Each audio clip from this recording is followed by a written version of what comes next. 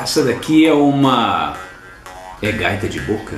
Não, não é gaita de boca. Qual é o nome desse instrumento? Gente, eu esqueci.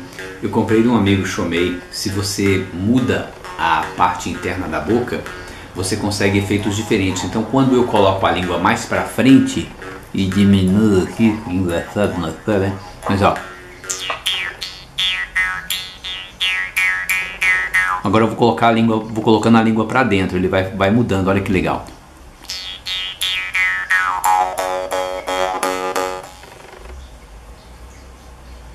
a gente consegue efeitos com o mesmo recurso utilizando palmas.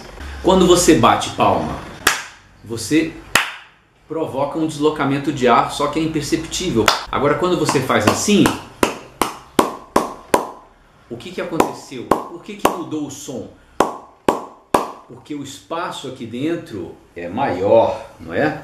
Quando eu consigo fazer uma variação de espaço e tem uma fonte sonora, eu consigo também com o canudinho fazer uma alteração, uma variação.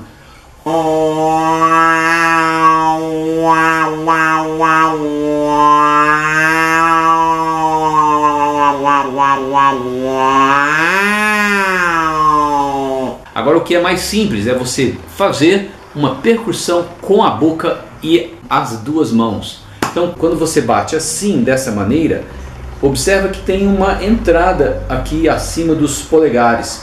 Então quando eu fecho a mão assim, quando eu fecho a mão assim, sai ar daqui de dentro. Esse ar que sai, eu posso jogar dentro da boca e assim eu posso tocar uma escala, por exemplo.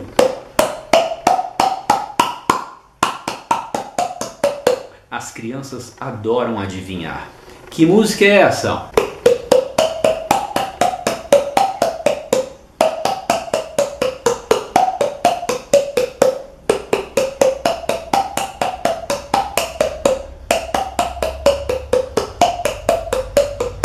batendo aqui também. E aqui eu posso trabalhar com outros efeitos.